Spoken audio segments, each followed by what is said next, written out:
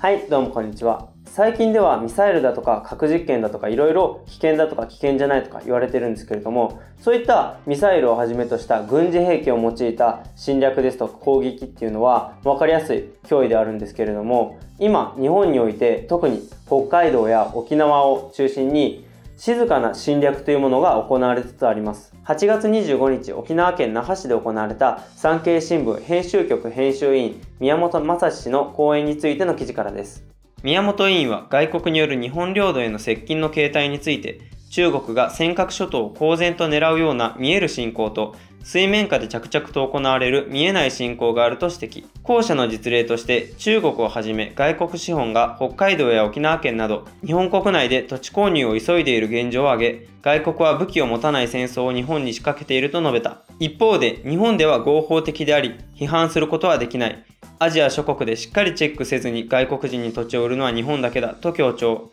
中長期的には日本の主権の問題になる。政府は首相官邸主導で外国資本による土地購入を規制するための法整備を急ぐべきだと訴えた。この土地購入による侵略が今すごく問題で、以前産経新聞が書いていた内容だと、すでに北海道で中国資本に買収された森林や農地は推定7万ヘクタールにもなるそうで、まあパッとイメージしづらいんですけど、東京23区が全部でだいたい6万2100ヘクタールくらいあるそうで、つまり東京23区を全部入れてもまだ余裕があるぐらいの土地をすでに買われてしまっている。これね、やばくないですかね。土地を買われることが何が問題かって言ったら問題大ありで、土地を買われるということはその分人も入ってきますから、ある一定数を超えちゃったら、その地区の行政にも関わろうとしてきますし、すでに釧路の白糠町ってところでは、小中学校を対象に中国人講師による中国の歴史や文化の紹介や中国語教育なんかも取り入れちゃってて、もうね、完全に乗っ取る気満々ですよね、これ。それでもね、中国人が移住してきたら経済も活性化するしいいんじゃないかとかね、もうね、